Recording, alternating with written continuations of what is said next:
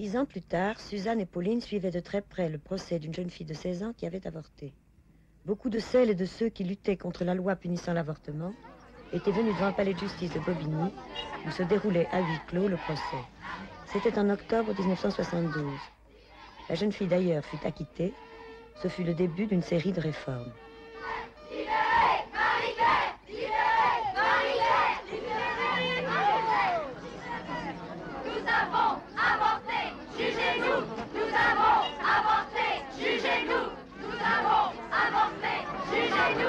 Enfin, écoutez, j'ai ma carte du planning de Ah, hier. Alors, ça sert à C'est un quoi procès huis clos, vous ne pouvez pas rentrer, madame. On s'est à huis clos, procès.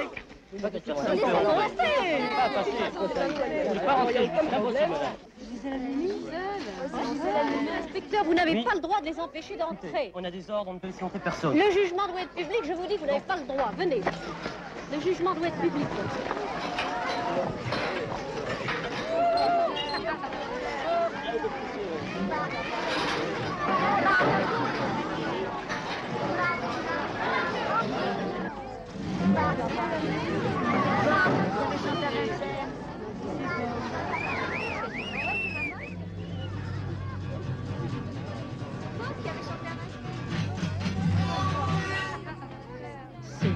Plus papa que le pape ou le roi, le juge ou le docteur ou le législateur qui me feront la loi.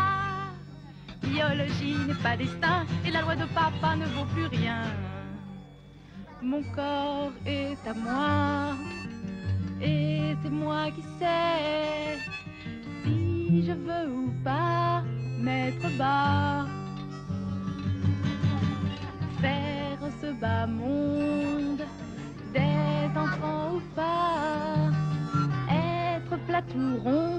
j'ai le choix.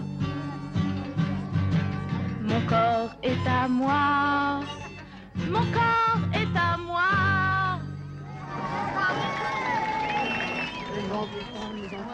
Le ventre, ça, c'est sûr.